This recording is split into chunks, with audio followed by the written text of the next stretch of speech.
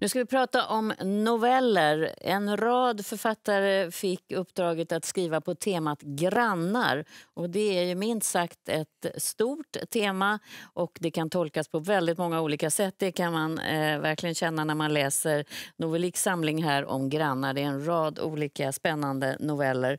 Jag har bjudit in tre författare som sitter här i soffan. Ares Fioretos, välkommen hit. Tack. Eh, du har tolkat det verkligen på ditt sätt. Eh, Augustin Erba på ett annat och eh, Kjell Westö som också har tolkat det helt... Ni har tolkat det olika. För grannar kan ju vara det värsta som finns och det kan vara det bästa som finns. Mm. Eh, om vi börjar med dig, Ares Fioretos. Vad, vad fick du i huvudet när du fick eh, frågan? Länge ingenting. Nej? Eh, Vi författare är ju av olika slag. Jag tror att jag är en långdistansare. Jag, jag håller mig till längder över 200 sidor. Så att noveller är ingenting jag brukar skriva. Men det är förstås alltid eh, entusiasmerande och roligt att få en uppgift och att lösa uppgiften. Och då tänkte jag till och, och länge kom jag inte på någonting så insåg jag att ja, men grannar behöver inte bara vara personer som bor i samma hus som du själv. Utan det kan också vara eh, den tillfälliga sorts granne som vi kallar för, för bänkgranne. Eller bänkkamrat. Det finns väl lite olika beteckningar. Och, och, och då minns jag ett stort och dåligt eh, eh, samvete som jag har släpat runt på under 35-40 års tid sedan jag slutade skolan. Det var en pojke jag satt bredvid under tre års tid på gymnasiet och som sen tog livet av sig av olika skäl. Eh, och jag tänkte att om honom har ju alltid tänkt att du skulle skriva. En är rätt- bänkgranne. En bänkgranne. Men, men vad var ditt dåliga samvete? Ja, därför att jag redan, redan när han gick bort visste att, att någonting fanns ouppklarat och Mm. någon borde skriva hans historia. Inte att du borde ha gjort någonting. Nej, nej. nej, eh, nej, vi, vi, nej, vi förlorade kontakt med varandra Ja. Mm. efter gymnasiet. Och fem år senare tog han sitt liv. Och det är ju intressant i ett klassrum tänkte jag när jag läste Mm. din roman. Hur nära man sitter och hur många timmar man sitter med människor som man inte har valt utan bara pressas ihop i ett rum. vet Ja. varandra trots att man vet en hel del. Man vet till exempel hur personer ser ut när de tar av sig kläderna inför gymnastiken. Ja. Men man vet inte hur det ser ut här. Nej. Blev du mer klok? Det vet jag inte om jag kan säga, men jag tror att eh, de här 35 åren eh, sen vi gick ut gymnasiet, eller 40 åren i mitt fall, eh, har gjort mig något lugnare till mods och också förmögen att finna ord för saker som jag på den tiden inte hade ord för. Och det är väl mycket det som skrivandet handlar om. Att Mm. man får ut det där som bara rör sig där uppe till någonting som blir så konkret. Mm. Börja leva sitt eget liv, inte minst för eh, den som skriver. Eh, eller den som läser skulle jag säga. Augustin Erva, du, du valde ett helt annat ämne. Ja, jag, jag tyckte att eh, man, man är ju inte granne bara med, med människor utan också med idéer. Eh, och eh, jag ville skriva om en idé som växte fram. Och så vill jag också skildra eh, skillnad, alltså hur fort det kan gå när världen förändras runt omkring oss och hur snabbt människan anpassar sig.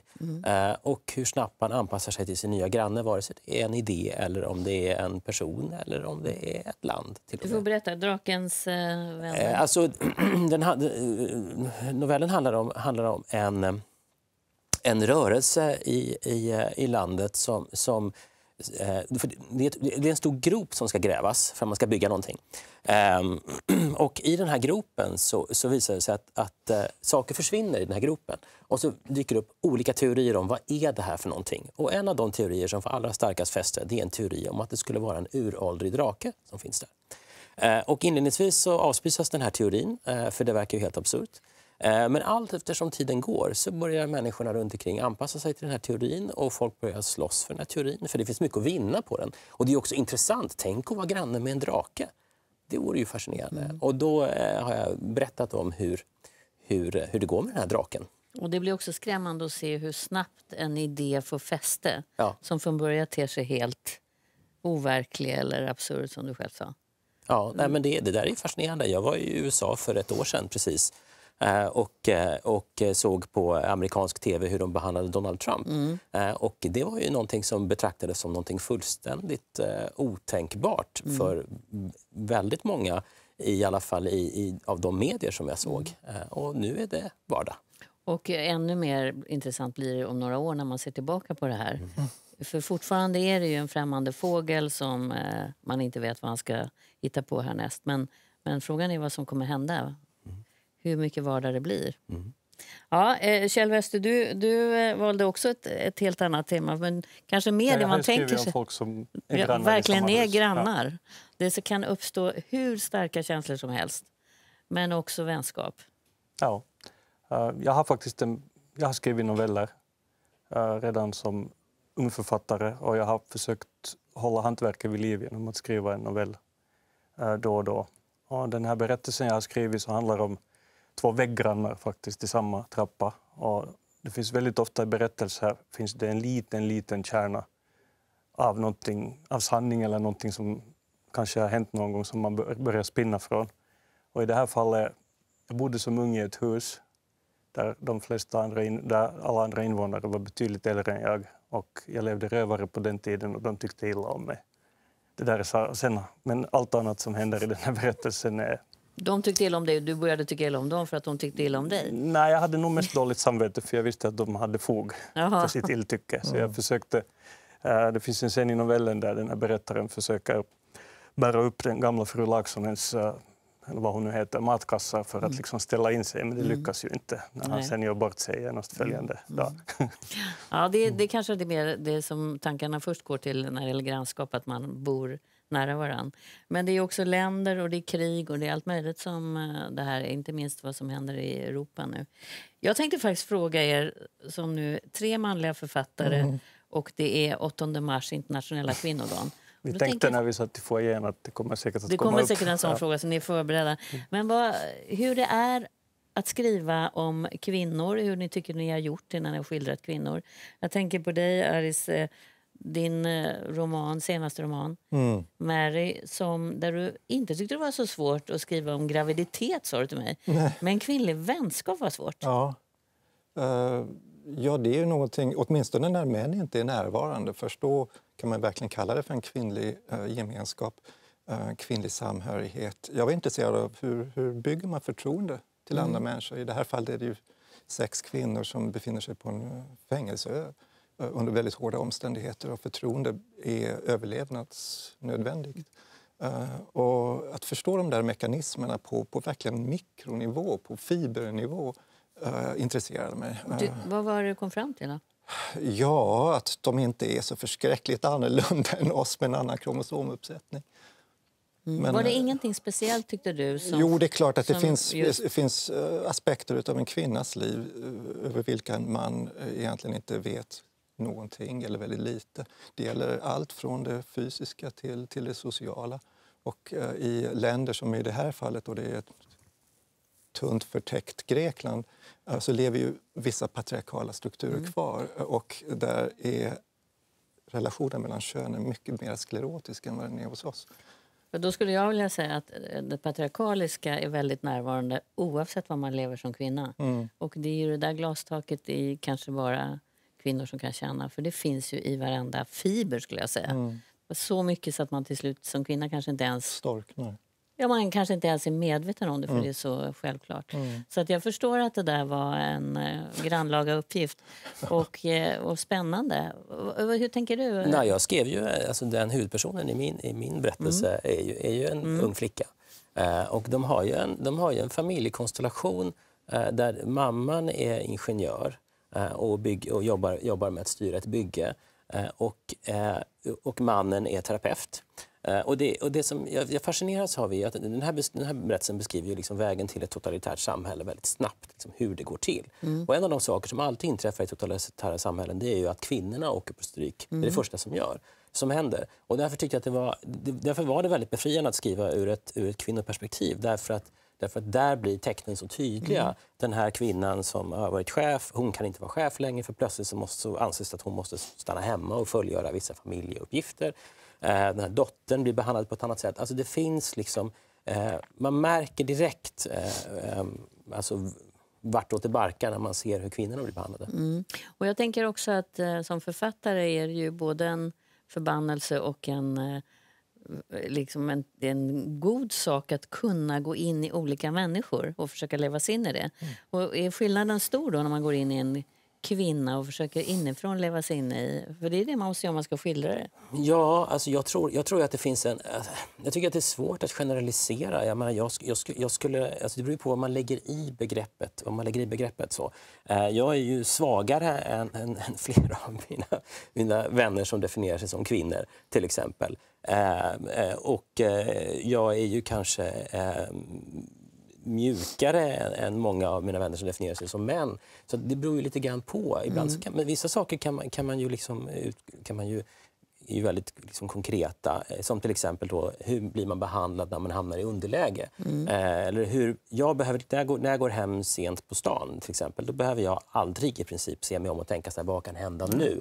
Men det är någonting som varenda mm. kvinna jag känner alltid, alltid mm. tänker på och alltid åtminstone är medvetna om. Det är liksom en slags permanent slaveri liksom, som, mm. som man liksom aldrig kan vara fri från. Den här blicken över ja, axeln när man hör steg. Mm.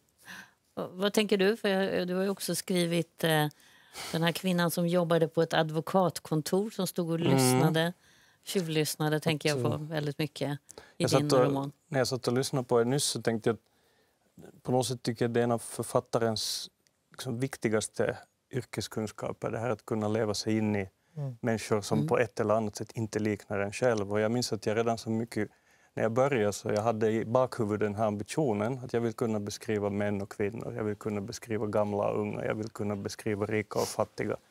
Och jag var väl djärv på något sätt, för redan i min första roman så den har flera olika berättarröster. Men mitt parti av romanen så gav jag åt en, åt en kvinna, eh, en, en syster i en, en syskonskara med, med två bröder. Och så berättar hon det här mittpartiet och jag minns att jag jag gjorde väldigt liksom... Jag, var väldigt, jag förhöll mig väldigt yrkesmässigt och väldigt proffsigt i det här. Jag slutade lyssna på Bruce Springsteen och annan bredbent gubbrock under de månader jag skrev det partiet. Jag du borde ha gjort på... långt tidigare. ja, antagligen, ja. Det just det. Jag lyssnade på, på Eva Dahlgren och Marianne Faithfull och liksom, jag gjorde en massa såna grejer. Så minns jag att när boken hade kommit ut, det lyckades inte så där helt och hållet, det där partiet. Så när boken kom ut så hade kommit ut så hade jag kvinnliga kompisar som tittade lite ironiskt på mig och sa det här var mitten av 90-talet. Mm. Att du kunde ha lyssnat på Courtney Love eller Alanis Morissette istället så hade du fått lite mera edge mm. i henne. Så att, eh, och jag fick ganska mycket stryk faktiskt uh, när jag var en författare där i 30, mellan 30 och 40 för ska vi kalla det grabbighet. Mm. Att man sa till mig att du skriver om mäns och pojkars värld och maktkamp. Och, och det här var ingenting, jag, jag ville inte att det skulle vara så. Och som författare så tror jag att man faktiskt har nytta av att småningom åldras och bli äldre. Mm. För det där är ens kunskap och förståelse för människorna och vår, allt som är lika i oss, men också det uh, som finns i en annan människa som du inte kan förstå, som du inte har lätt att förstå. Allt det där uh, djupnar. Mm. Så jag hävdar att mina uh, kvinnoporträtt har blivit jag ska inte säga bättre, för det här är inte på en axel av bättre och sämre, men liksom djupare. Mm. Och i den roman jag ska ge ut nu i år, alltså i augusti, så där är stommen, eller en av hörnpelarna i hela berättelsen som är en, det är en ganska lång och episk och vidlyftig berättelse. Så en av hörnpelarna är en liksom livslång kärlekshistoria med förhinder mellan en man och en kvinna. Och jag hoppas innerligt att jag har gjort bägge rättvis. För det ju, måste ju vara en utmaning eh, oavsett om det är ett annat kön så kan det vara en annan typ av person än den man är själv att verkligen försöka förstå. Det tänker jag är mm. Det måste vara mycket roligare egentligen. Än att När jag var hos dig senast ja. Eh, och, och, sa det där med, mm. med graviditeten mm. så fick det en reaktion, någon ung tjej i något socialt medium som blev fly förbannad och ja. sa, och sa ja, nu kommer den här att tala om för oss hur det är att vara gravid. Ja. Eh, och, och, det var förstås uh, berättigat och jag kan förstå med min repressiva tolerans hennes vrede var den kommer ifrån. Men jag kan inte förstå argumentet. För argumentet, hårdraget, är, är, är, går ju ut på att vi kan bara skriva om det som vi själva har mm. upplevt. Mm. Och man hamnar i en väldigt fyrkantig mm. och en monodimensionell värld i så fall. Um, ledordet måste väl ändå förbli, som Kjell säger, empati. Alltså mm. förmågan att mm. sätta sig in i andra situationer. Som man mm. och så suddas kanske det där ut.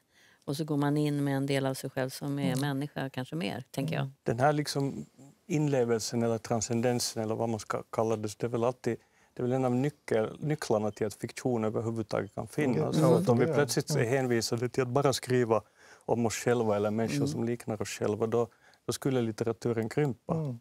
Och skulle vi ha haft de här reglerna, Madame Bovary skulle inte finnas. Mm. Det finns en massa andra gestalter. Anna Karenina skulle inte Mm. finnas och så vidare. Och så vidare. Men det, är ju inte, men det är inte bara det som är problemet, tycker jag. i och för sig. För att, man- det visar ju sig gång på gång när man undersöker att, att flest män recenseras på kultursidorna.